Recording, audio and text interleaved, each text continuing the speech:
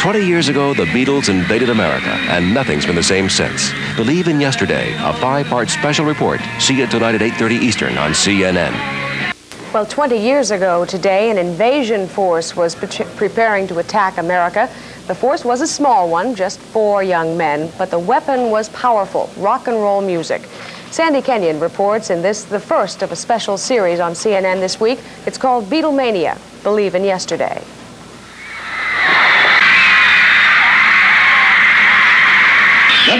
The Beatles.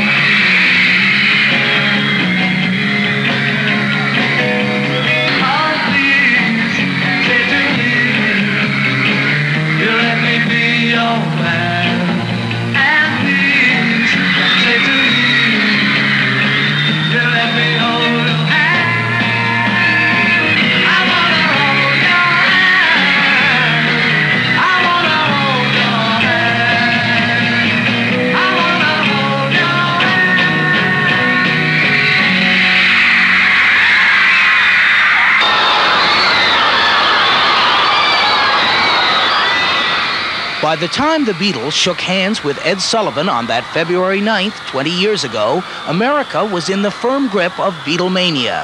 In England, the Beatles were already big stars. Well,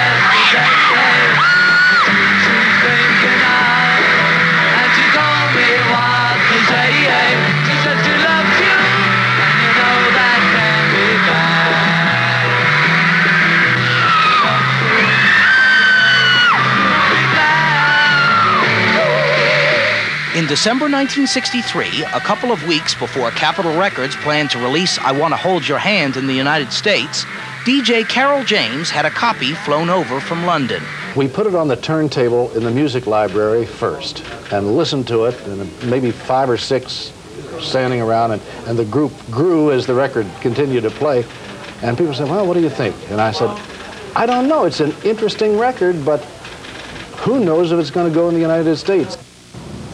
Executives at Capitol Records were forced to move up the U.S. release date for I Want to Hold Your Hand due to the sheer demand for the song. On January 25th, it was racing up the Billboard record charts, and one week later, it reached number one, where it stayed for seven weeks.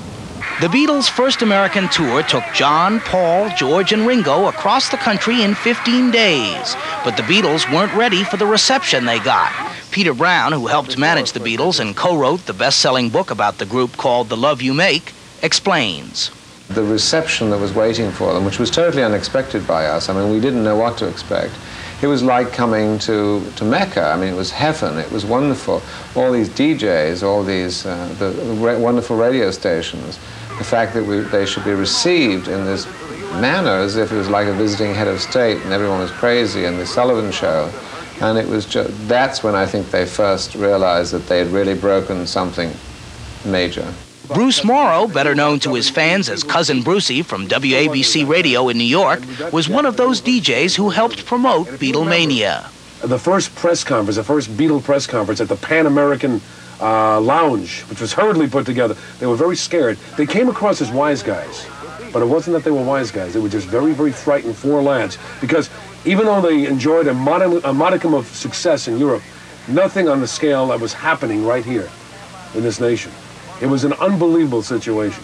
All hell broke loose at the airport. I mean, there were thousands of teeny bop kids, mostly girls, of course. And then uh, the press. There was almost as much press down there that day as there was kids at the airport waiting for them.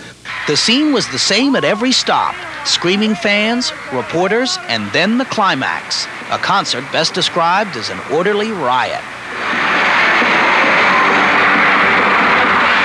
Here's how a WGN reporter at the time described the scene at the Chicago Amphitheater. It's wild! This place is going out of its head! You have never heard anything like this in your life! It's absolutely wild! Faced with reporters always asking the same questions, the members of the group developed a unique way of responding humor mixed with sarcasm, so the journalists never quite knew when the Beatles were poking fun at them. Who came up with the name Beatles, and what does it really mean? John thought of the name Beatles, and he'll tell you about it now. uh, it, does, it means Beatles, doesn't it? You know, that's just a name. You know, like shoe. Means shoe. The shoes. You see, we could have been called the shoes for all you know. Others might have been considered rude, but to their fans, the Beatles were cute. Perhaps that's because their ribbing always showed signs of real intellect. Consider this scene from their first movie, A Hard Day's Night, made just a few months after their first U.S. tour. Tell me, uh, how did you find America? Turn left to Greenland. Has success changed your life? Yes. I'd like to keep Britain tidy. Are you a mod or a rocker? Um, no, I'm a mocker. What would you call that uh, hairstyle you're wearing? Arthur. If the Beatles satirized the press, they also poked fun at the screaming fans that followed them everywhere. Don't move, any of you. They've gone potty out there. The place is surging with girls. Please, sir, sir, can I have one to surgery, sir, please, sir? No, you can't. Now, listen, as soon as I tell you, get out through this door here into that big car that's waiting.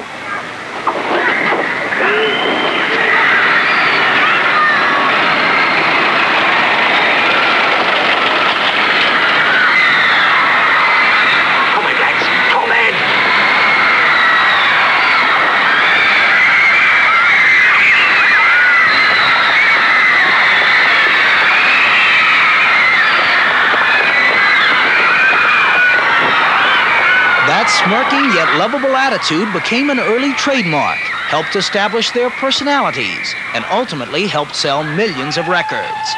Tomorrow, a look at how the Beatles changed both the music industry and American culture with concept albums, mop top haircuts, and Beatles lunchboxes. For now, this is Sandy Kenyon, CNN, Hollywood. 20 years ago, the Beatles landed in New York. In part two of our series, Beatlemania Believe in Yesterday, CNN's Sandy Kenyon reports on how the Beatles changed the music and culture of America.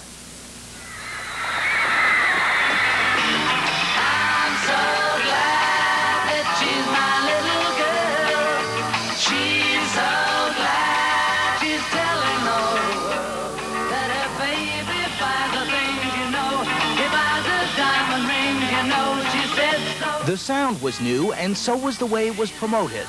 The selling of the Beatles was almost as important as the music itself. Within hours of their arrival in New York, there were Beatle t-shirts, followed by Beatle buttons, sneakers, combs, purses, and of course those Beatle wigs. Inevitably, other musical acts tried to look and sound like the Beatles. Some even poked fun at them. Much of the credit for the Beatles' impact on the world belongs to their manager, Brian Epstein. One of his former associates, Peter Brown, calls Epstein a brilliant promoter. It was his dreams that filled those football stadiums and the, uh, the closed circuit, uh, the, the satellite, international satellite, which is the first time anyone had done international satellite, was the Beatles. All of these things were Brian's vision. That vision produced hundreds of different Beatles products, products that have since become expensive collector's items. Mark Lapidus makes his living sponsoring Beatle fests for thousands of fans. In 1974, he visited John Lennon in New York to ask what the former Beatle thought of the whole idea. I sat down and told John my whole idea, and he said, quote, I'm all for it, I'm a Beatles fan too. And from that moment on, uh, John helped, helped turn Beatle Fest from a dream into reality. But there was more to the Beatles phenomenon than just hype. When they showed up on stage at places like the Hollywood Bowl, they delivered the goods, an exciting show which became an event. And so they managed to fulfill the enormous expectations of their fans. Promoter Jim Rissmiller. Uh, they wanted the unheard of sum at that time of $25,000 flat, which was twice as much as any major American star at the time was getting. And so it was very risky and questionable, but uh, the, the disc jockey that we knew, Bob Eubanks, and myself and Steve Wolf, we all collaborated on that. Eubanks uh, had some collateral. We borrowed some money at the bank. And we did the show, sold out in four hours, and we made more money than the Beatles did.